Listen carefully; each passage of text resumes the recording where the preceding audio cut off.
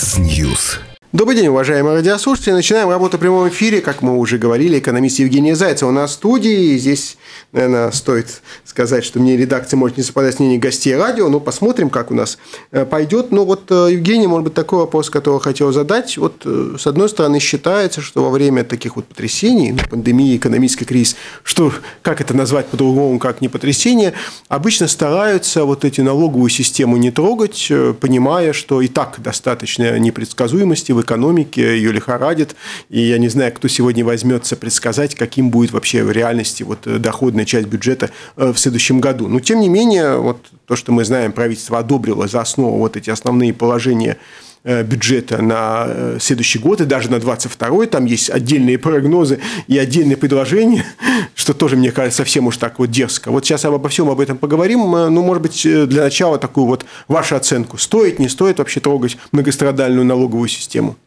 Ну, ответ однозначно, конечно, не стоило. Не стоило трогать. Почему? Э, потому что, в первую очередь, э, любая налоговая система, надо понимать, что это не только какие-то изменения масштаба государства, но это затрагивает бизнес.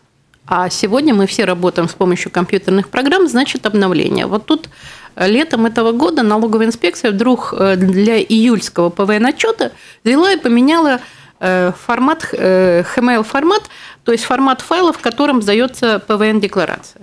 Казалось бы, мелочь, а на самом деле это очень не мелочь, да, техническая? Ну, в принципе, на ушах стояло, э, все бухгалтера стояли на ушах, потому что объявление было сделано очень поздно, а информация, которая была предоставлена налоговой инспекции, была некорректная, да, то есть не было сдано, допустим, табличка была вчера, стала сегодня, да, а они просто обновили свое сообщение, и программистам пришлось выискивать, в чем же изменение, да, и, конечно же, это стоило денег, и это стоило нервов. Э, то же самое в 2018 году, когда эта налоговая система была введена, в первую очередь расчет э, подоходного налога э, с населения, с дифференцированной ставкой, с дифференцированным необлагаемым минимумом и так далее – все это потребовало очень больших трудозатрат и, естественно, денежных затрат. И трогать сегодня все это, ну, я считаю, это неправильным.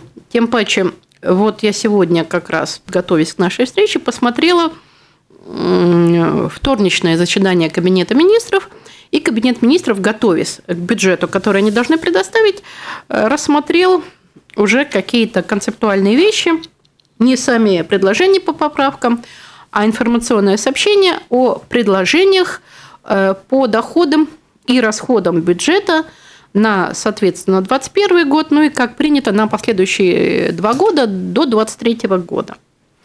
Э, то, что уже в прессе звучало, э, планируемый дефицит бюджета составляет миллиард 184 миллиона на следующий год. А те мероприятия по изменению налогов, которые Э, правительство уже предложило, и которые активно обсуждаются обществом, и которые в большинстве случаев оцениваются негативными, а я назвала это вообще фэнтези, да, э, фэнтези почему? Потому что эти нормы будет очень-очень сложно прописать в текст закона. И если даже удастся записать в текст закона, э, можно нарушить концептуальную логику самого закона о конкретном налоге. И стоит ли овчинка выделки? Цена вопроса вообще смешная. То есть все эти манипуляции, которые запланировало правительство со своими налогами фэнтезями, э, по их расчетам, знаешь, какой доход даст бюджету? Неполный 70 миллионов. Да. При миллиарде с лишним, миллиард 184 миллиона дефицита, э, заставлять бизнес потратить деньги на обновление компьютерных программ, э, заставлять бизнес закрываться – да? Даже закрываться? Закрываться. Но вот э, в том сообщении, которое было, информационное сообщение было связано с налоговой реформой, к нему было приложение. Там было три приложения, одно из них подготовила налоговая инспекция. В текстовой части налоговой инспекции было четко прописано, к чему приведут эти налоговые изменения. Что те СИЭ со статусом микропредприятия, которые сегодня работают, что они не смогут перейти на нормальный режим работы, они обанкротятся – и там То сделано... Есть обычным СИ они не станут? Они не могут. То есть процентов 70 из них будет закрываться. И это порядка 60 тысяч безработных. А физические лица со статусом микропредприятия на статус самозанятого лица тоже не перейдут, потому что это дороже, и они тоже физически это не выдержат. Еще э, армия безработных Нет, эти э, могут пойти на безработицу, но они уйдут в тень. Почему? Потому что вот статус микропредприятия для физических лиц, он используется в сфере обслуживания, сервиса, где очень большой оборот наличных денег. И налоговая инспекция пишет, что мы и так стараемся, и нам сложно проконтролировать эти доходы. А вот эти поставкам, эти мероприятия, изменения по налогам, они еще больше постигнут и оттолкнут людей в, этот, в тень. И вариант увеличивать количество контролирующих людей – это не выход. Это как раз не выход. Поэтому я и называю, что это фэнтези. Потому что, с одной стороны, экономического эффекта нету, есть большие затраты э, для обновления компьютерных программ налоговой инспекции, э, введение дополнительного уровня обработки информации, что физически, э, я думаю, что невозможно, потому что это потребует другие объемы информационной памяти баз, да, для баз данных налоговой инспекции. Потому что то, что там предусмотрено, вот этот обязательный объект уплаты социальных платежей в размере с минимальной зарплаты порядка 175 евро в месяц с каждого человечка, чтобы это было гарантировано, независимо от того, человек работает на минимальную зарплату, не работает, работает с маленькой зарплатой в нескольких местах, занимается хозяйственной деятельностью и так далее, вот в этих стоимость этих 70 миллионов почти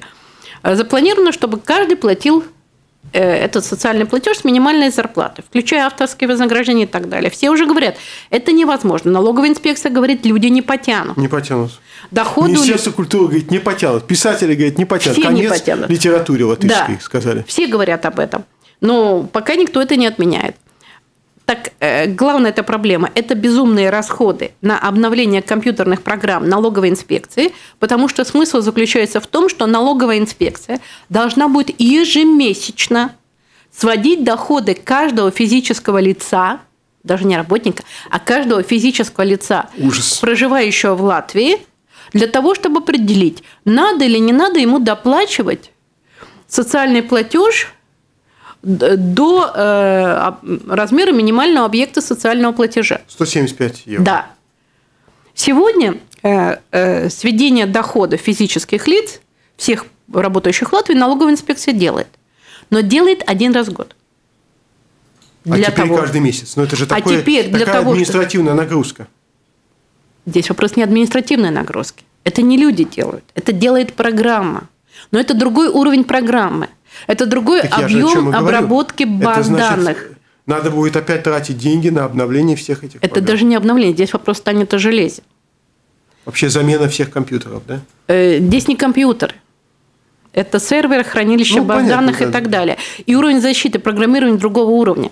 Когда налоговая инспекция еще перед кризисом, да, э, вот с восьмого года был обязательный переход для юридических лиц э, на электронную систему да. декларирования, тогда налоговая инспекция собиралась, я как раз вот встретилась с одной из высоких, она как раз я вот и говорила, вот вы собираетесь это делать, как вы будете решать? Она говорит, вы знаете, мы осознали эту проблему, я сейчас как раз иду на совещание, По где этой... мы будем решать эти вопросы, да, потому что это с позиции технологий совершенно другой уровень.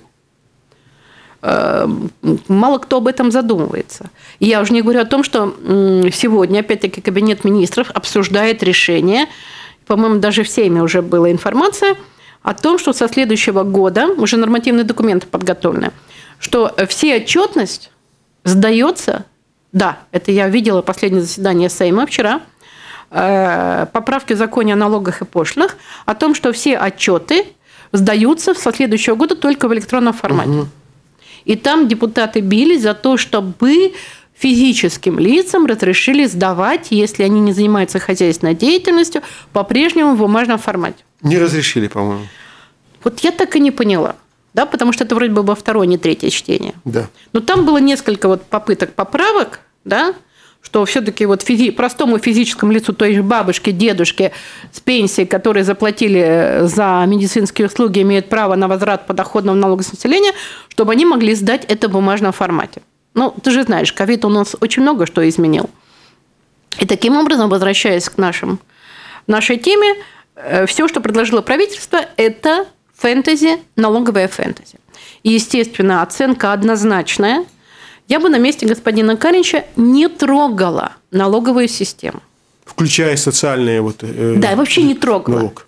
Да? У, у правительства только одна задача э, – поменять или оставить без изменения размер э, миним, суммы, до которой принимается стопроцентная сумма необлагаемого минимума угу. и верхний рубеж, до которого вообще применяется необлагаемый, необлагаемый минимум. минимум. Это да. они тоже, кстати, сделали. Да. Они назвали эти цифры. До 1800. Да, да. и здесь вот цена этого вопроса, потеря бюджета 40, 40 с чем-то было миллионов. Да, 43 или 42. Да. да. Вопрос... Тоже не столь существенно. Э, не сто... Э, существенно, но вопрос такой, надо ли это делать? Да, надо ли это делать? Можно было оставить все без изменений. Абсолютно. Я делала анализ и проверку. Налоговая нагрузка сохраняется. Там э, снижение налоговой нагрузки для работодателя э, полпроцента. Да. Полпроцента. И меня очень коровит, когда в прессе выступают и рассказывают, ну даже вот эти изменения нам все равно оставят высокую налоговую нагрузку, в отличие от Литвы и Эстонии. Но, ребята, нельзя сравнивать брюки и юбку. В, в Эстонии и в Литве применяется необлагаемый минимум для всех. Там нету дифференцированного необлагаемого минимума. И он большой.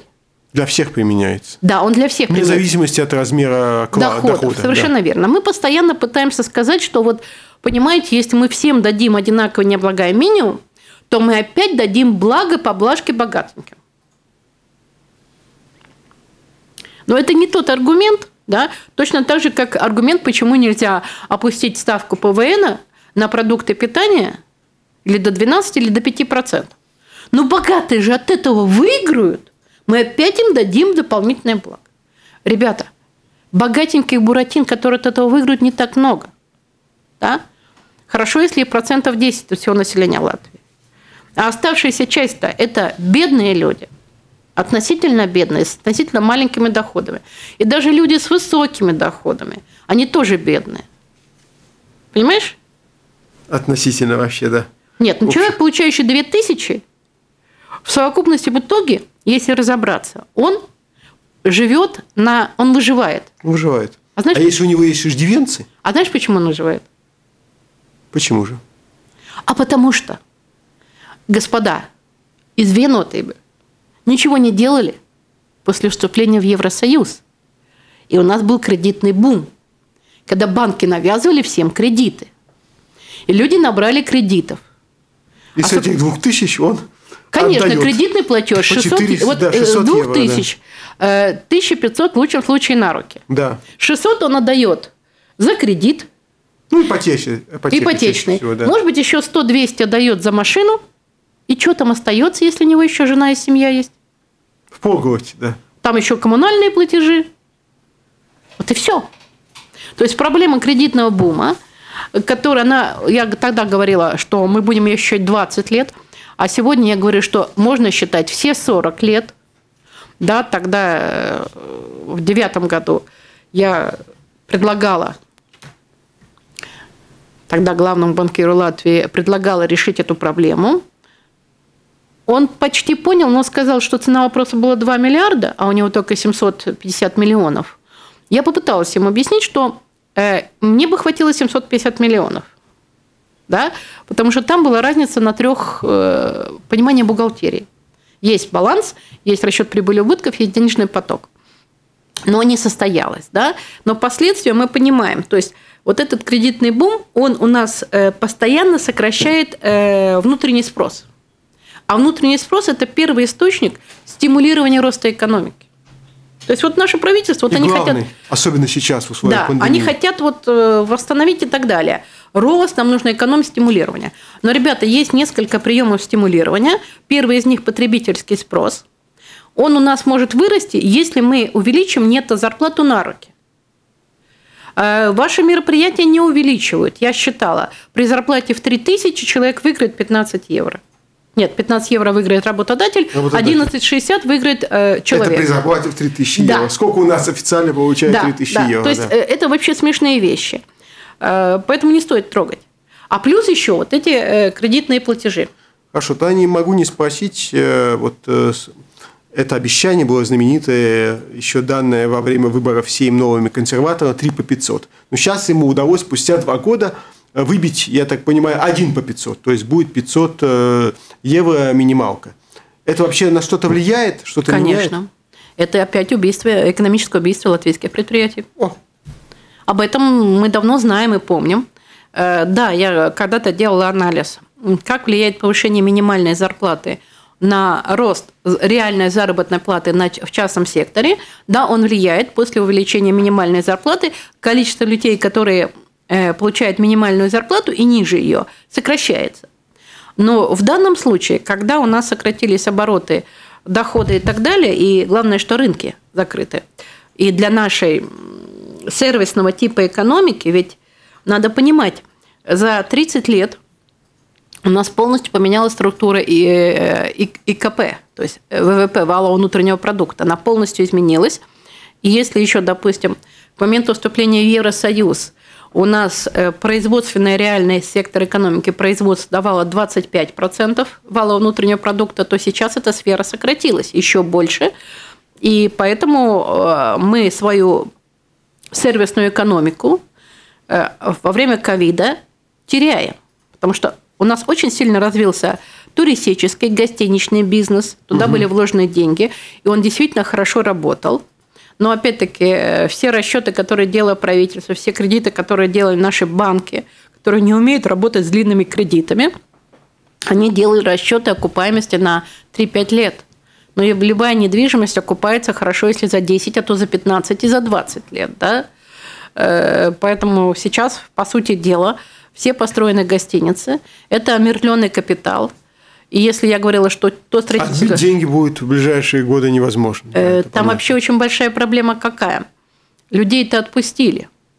Для того, чтобы эта недвижимость сохранила бы свою стоимость и ценность, да, ее надо сохранять каким-то Ее образом. нужно поддерживать. А наш климат – это сырость. Вот уже сегодня, я не знаю, как то, но две недели назад я дома включила котел, чтобы ночью подтапливать, иначе сыро да, я просто очень чувствительна на сырость, уже сыро. А вот эти все гостиницы, у них это главная проблема, что им нужно сохранять определенный микроклимат для того, чтобы все внутреннее оборудование мяг, мя, э, мягко рухлить, они бы не потеряли свои ценности. Потому что если только пойдет плесень, то все. Это будут голые коробки, которые никому не нужны, их дешевле будет просто снести направленными взрывами и освободить места. Потому что в ближайшие годы как бы ни рассказывали о том, что к 2023 году туризм восстановится, я в это не верю. И это опять-таки мировая проблема. Угу. Сегодня никто в мире еще до конца не осознал, что поменялось. Мировая структура экономики поменялась, но это мировая. А у нас в Латвии что? Параллельно с этим закончился проект э, развития э, собственных портов э, России. Проект этот был начат, извините меня, в 2000 году да? За 20 лет все закончено уже, то есть концептуально тогда было высказано, все закончено, но еще осталось полгода-год, да? Все. К чему Мы видим, это что происходит в портах и что происходит на латвийской железной дороге. Совершенно верно. Где руководство железной дороги сказало, ну, до 25 года минимум придется жить на дотации. Ну, понятно. Да, уже дотации туда да. идут. Да? да? То есть мы железную дорогу правительство обязано будет содержать. А это минимум 56 миллионов. А знаешь почему? Вот если Ари Балтик правительство не обязано содержать, но это делает, то железную дорогу Это стратегический объект. Нет. Потому что у нас в Сатворсме прописано, что железная дорога – это собственность государства. Это понятно. Да. То есть, если мы хотим не содержать железную дорогу, которая в ближайшее время будет, по сути дела, загибаться, да, и вот в, в этих условиях, так не знаю, какая ситуация с закупкой пассажирских поездов, запущен проект или не запущен? Еще пока непонятно. Непонятно. С другой стороны, была информация о том, что э, Евросоюз отказал финансировать закупку дизельных поездов. Это правда, да. С другой стороны, Цепурност э, господину Немира, который во время пребывания министром экономики установил проект электрификации железных дорог за счет евроденег. Но сейчас активизируется проект Rail Baltic. Причем не в той части, которая связана с основной магистралью, а связана с разоружением города Риги. То есть сейчас вот э, в заседании, на заседании Кабинета министров принимаются решения об отчуждении соответствующих земельных участков для того, чтобы обеспечить э, в будущем физическое строительство той ветки, которая будет до аэропорта. А эта ветка разрушает не только центр Риги, но и Задвинье. Да? Э, исторический район Агенскална разрушается. Угу. Да, что... Э, прервемся буквально на пару минут. Евгений Зайцев у нас в студии. Я вижу, что и звонки. Будем их принимать после перерыва. Не переключайтесь. Микс Ньюс. Вот мы вернулись в прямой эфир с Евгенией Зайцевой. И вот мы говорим и о бюджете на следующий год, и о развитии экономики в это э, тревожное время. Такой хрестоматийный вопрос. Что делать? Ну, первое, я хочу высказать сочувствие господину премьер-министру. Потому что не дай бог оказаться во главе страны в это время. И, честно скажу, у него очень трудная ситуация. Чиновники говорят, вот будет миллиард сто восемьдесят четыре у тебя дефицит в следующем году, давай выжимаем соки из населения, 69 э, миллионов получим. Ну, правда, забывают напомнить, что налоговая инспекция предупредила, цена вопроса 70 миллионов бюджет, при сохранении прежнего уровня занятости. А налоговая инспекция оценила порядка 70 тысяч. И я сегодня как раз заходила на сайт НВА, чтобы посмотреть, что там творится. Э, до начала сезонности, до снятия карантина, мы выскочили на э, состав безработных где-то 78 тысяч. Ну, еще 70, 100, 150 тысяч безработных. Э, посмотрела, что вот в этом документе по планированию доходов-расходов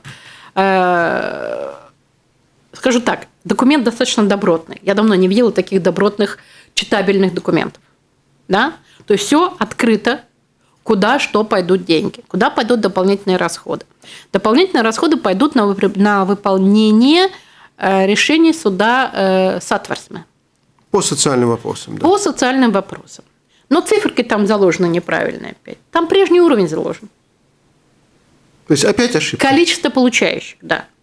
То есть их будет больше, если принять налоговую реформу. Вот как бы господин премьер-министр, озаботьтесь этим вопросом. А может быть, премьер-министр надеется на вот эти, как это сказать, оптимистические рассказы его коллег по правительству, которые говорят о том, что, ну, вы знаете, ну, людей-то не хватает, эти люди трудоустроятся, они же не все пойдут на биржу труда.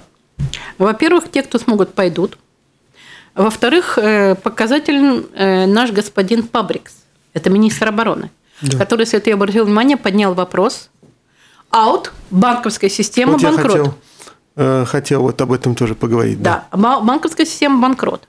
И в связи с этим предлагается стандартное решение задачи из учебника 50-летней давности, западной, из так называемого экономикса.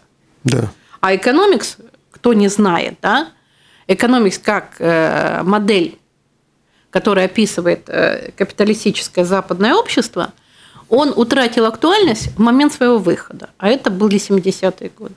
Уже тогда это было Уже тогда, актуально. да. И в этой связи я тут случайно обнаружила, опять-таки, те же чиновники все это посоветовали, да, что они посоветовали? Они предложили создать, то есть где бабки, да, в каком шкафчике?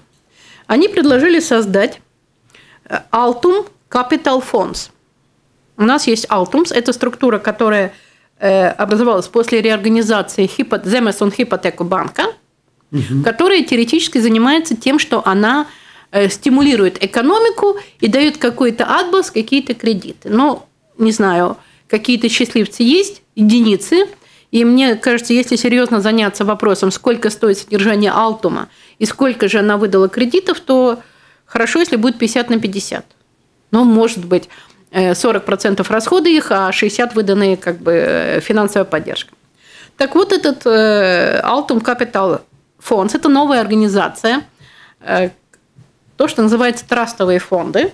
Это финансовая структура такая, э, в которую запланировано и в которую уже подписали обязательство внести 100 миллионов евро.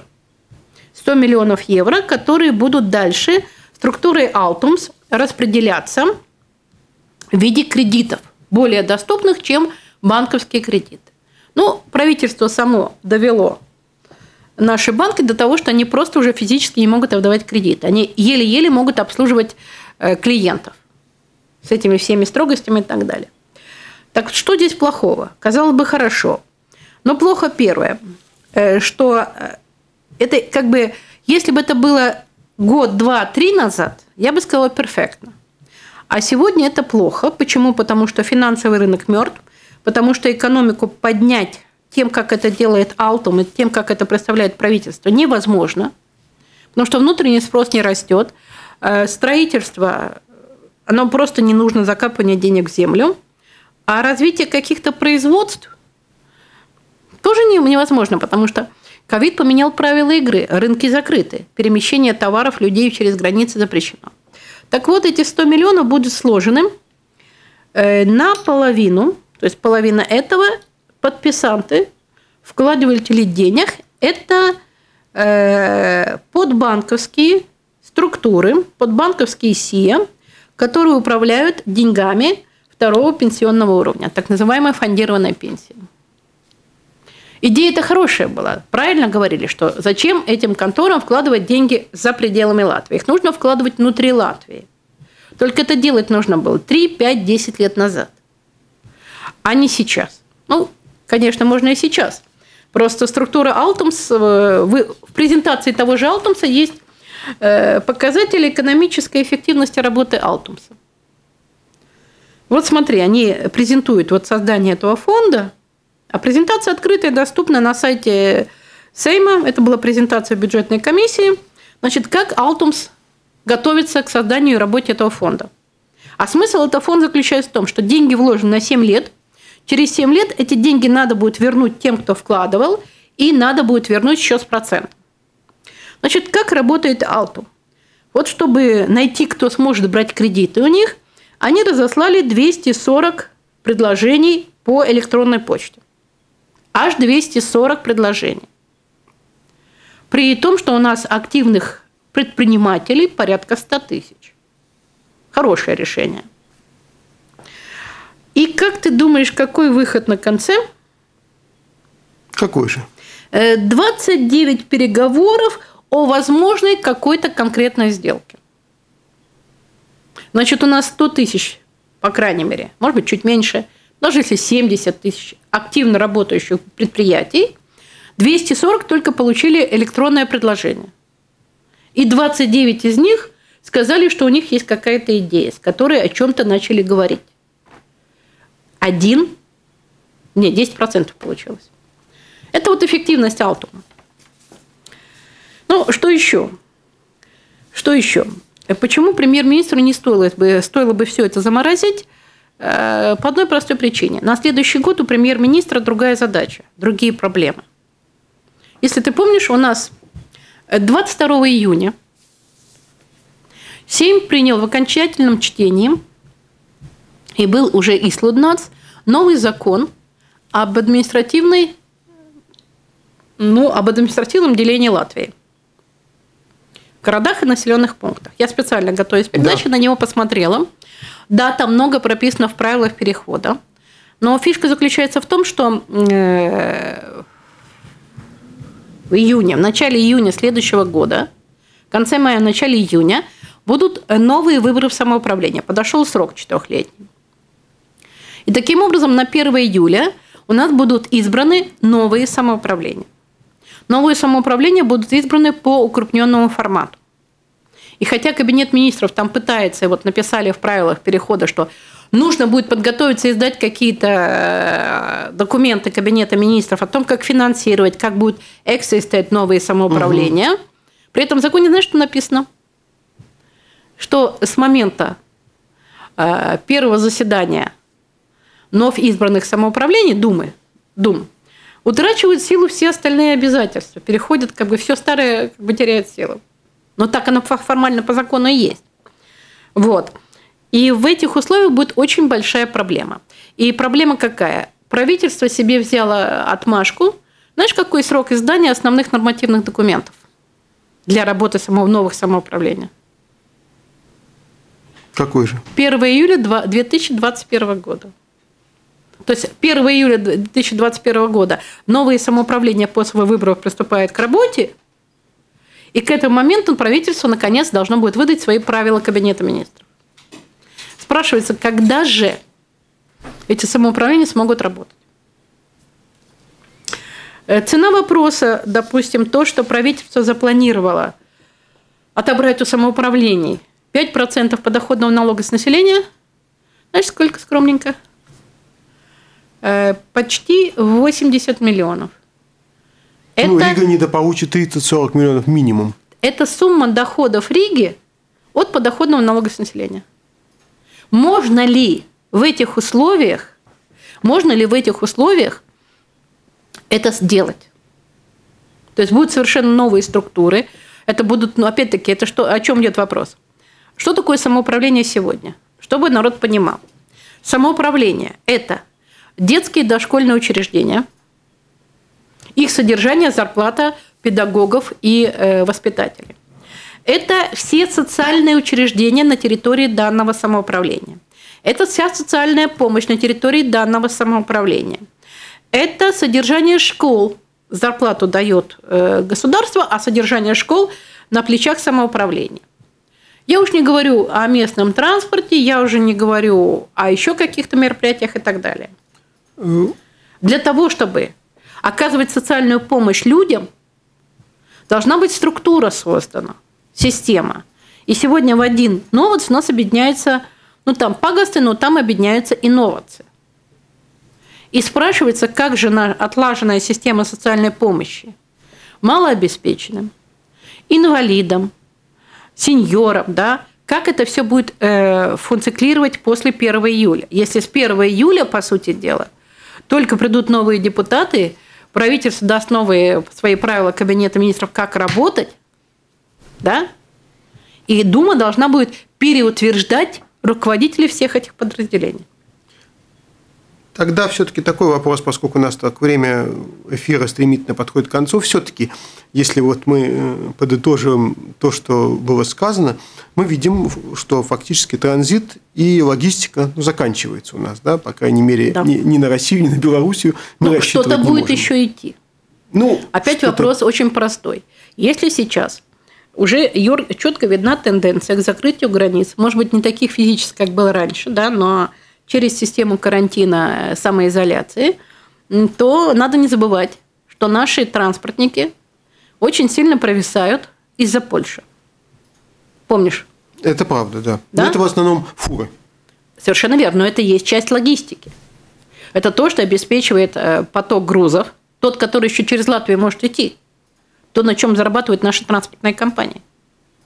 А сейчас еще вступают в силу, если ты помнишь, требования Евросоюза, который очень умно придумал, что э, э, водитель должен получать зарплату, ту, которую, э, которая определена в стране, где он работает.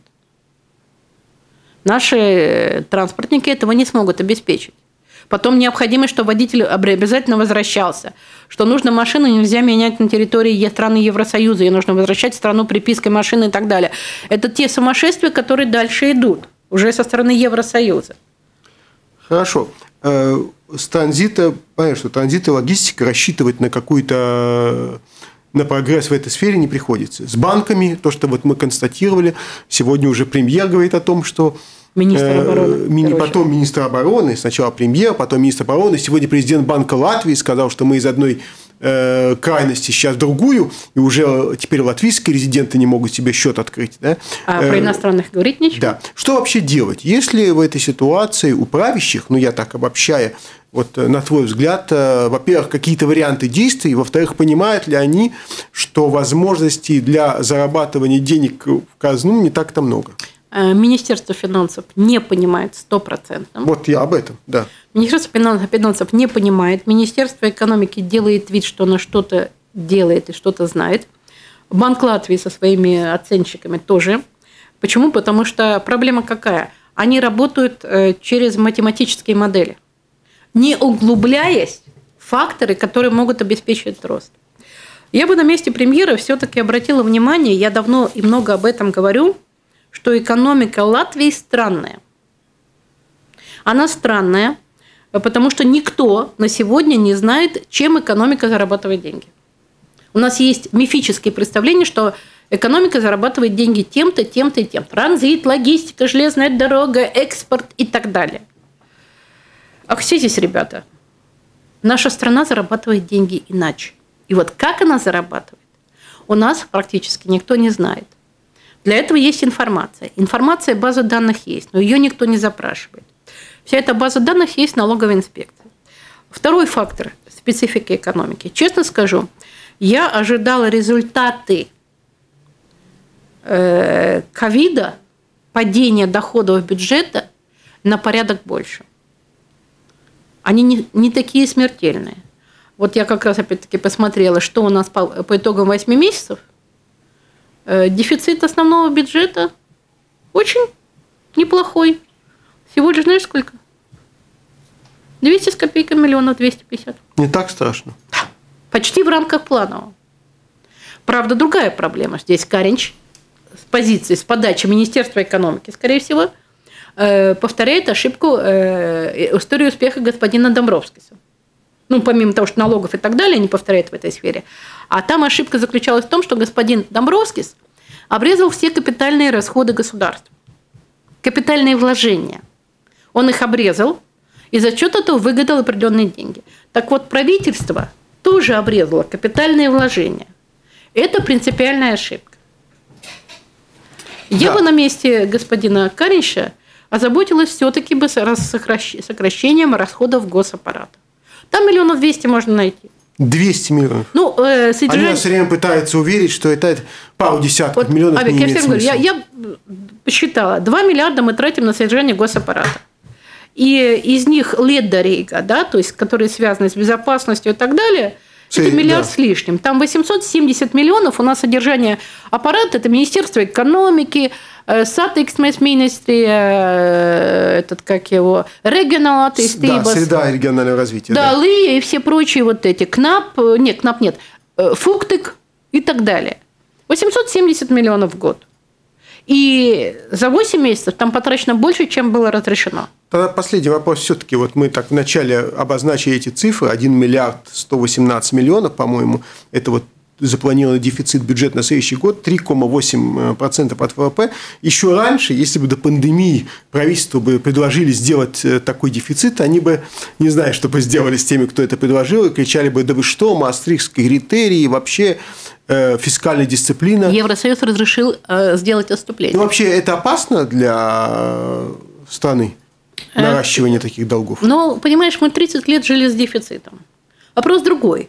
У нас вот опять-таки я специально посмотрела, на 1 июля государственный долг 12 э, с лишним миллиардов, что составляет 43% от любимого вала внутреннего продукта. Мы даже здесь еще не впереди Европы всей. Мы даже хвостики тянемся. Но проблема другая. Проблема мифологического восприятия экономики Латвии э, со стороны чиновников и правящей элиты. Вот я давно предлагаю, господа, но есть информация, не умеете, давайте я могу изложить, как и какую информацию где запросить, чтобы сделать э, правильную картину экономической ситуации, чтобы можно было делать реальные прогнозы, а не математическое моделирование. Но беда-то в том, что сегодня э, эксперты, которые работают с правительством и которые дают свои прогнозы, они э, воспитывались на западной экономической модели – а отличие заключается в том, что советская экономическая мысль, в основе которой, кстати, лежал межотраслевой баланс господина Леонтьева, мировая э, известность, да, там нас обучали анализу по факторно и планирование по фактору. Если ты говоришь, будет рост, хорошо, будет рост плюс 5, как я его обеспечу? Какой отраслью, какой сферой? Э, вот этого у нас нету. И, к сожалению, открытой информации, чтобы сделать прогноз, мне тоже недостаточно. Хотя я могу сделать такой прогноз. Евгения Зайцева у нас была в студии. Я думаю, что мы обязательно в эфире сделаем и такой прогноз. Спасибо большое. До свидания.